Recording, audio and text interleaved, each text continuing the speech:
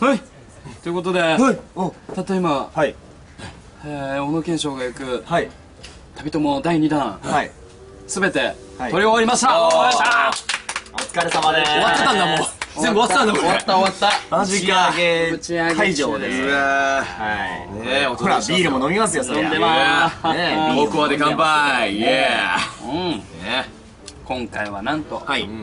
まあ見てもお分かりになるのかな？はい。になりますかね？もう暗いですけどね。江ノ島の方にはい。行ってきました。もう朝から江ノ島尽くしでしたね。すごかったよいろいろやったね。いろいろやった。しらす丼も食べました。食べた。釣りもしました。した鐘も鳴らしました。鳴らした。あと足を。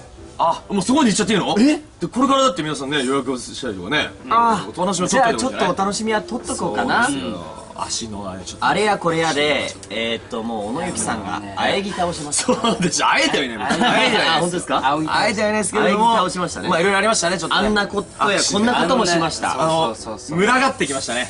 群がってきた彼女たちが。あと我々が同じ個室に入って脱ぎました。脱ぎましたね。それは確かにしました。そう。いろいろやった。いろいろやりましあとなんかあの誓った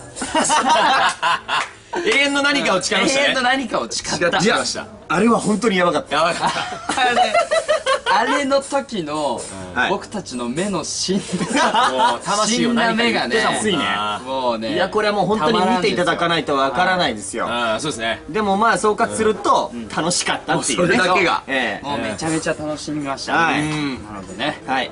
ぜひ楽しみにしていただけたらなと思います。よはい。ろしくお願いします。はい。イエイ。バイバイ。よろしくね